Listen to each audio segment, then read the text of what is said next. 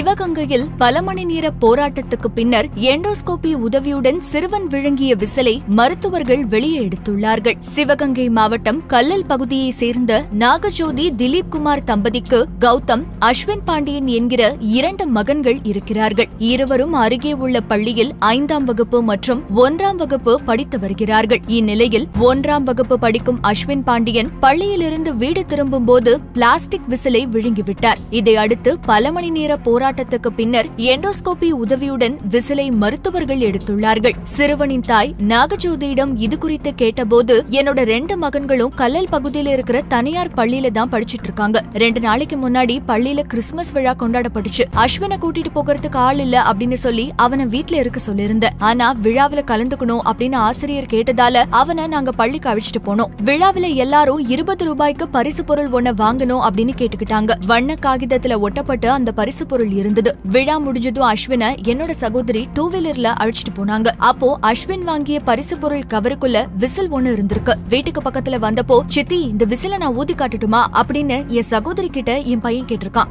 சரின்னு அவ சொன்னதும் அஸ்வின் விசில ஊதிருக்கான் அப்போ அந்த விசில் தொண்டைக்குள்ள போயிடுச்சு. இதை எதிர்பார்க்காத என்னோட சகோதரி பதட்டத்தோட காரைக்குடி காவேரி மருத்துவமனைக்கு அஸ்வினை அழைச்சிட்டு போயிருக்காங்க. பல்வேறு பரிசோதனைகள் செஞ்சப்போ கூட விசில வெளியே எடுக்கவே முடியல. அப்புறமா எண்டோஸ்கோபி முறையில விசில கண்டறிஞ்சு டியூப் மூலமா கிளிப் ஒன்ன பொருத்தி விசில வெளியே எடுத்தாங்க டாக்டர் காமாட்சி சந்திரன் மற்றும் டாக்டர் குலாம் பாட்ஷா உள்ளிட்ட மருத்துவ குழுவினர் பல மணி நேர போராட்டத்துக்கு அப்புறமா என் பையனோட உயிரை காப்பாத்திருக்காங்க. அப்போதான் எனக்கு உயிரே வந்துச்சு. மதியம் விழுங்கின விசில இரவு ஏழரை மணிக்கு தான் எடுக்க முடிஞ்சது. என் பையன் தவிச்ச ஒவ்வொரு நொடியும் இப்போ நினைச்சாலும் என்னால ஏத்துக்க முடியல. அதனால என் குழந்தைக்கு நடந்த மாதிரி இனிமே யாருக்குமே நடக்க கூடாது சின்ன அளவு பொருட்களை குழந்தைங்க கிட்ட பெற்றோர்கள் கொடுக்காம விழிப்புணர்வோடு இருக்கணும் என்று கூறி முடித்தார் கலங்கியவாறு. மேலும் இது போன்ற செய்திகளை தெரிந்து கொள்ள வீடியோக்கு கீழே உள்ள சப்ஸ்கிரைப் பட்டனை கிளிக் செய்யுங்கள். மேலும் லைக் ஷேர் கமெண்ட் செய்யுங்கள். கூடவே பெல் ஐக்கானையும் கிளிக் செய்யுங்கள்.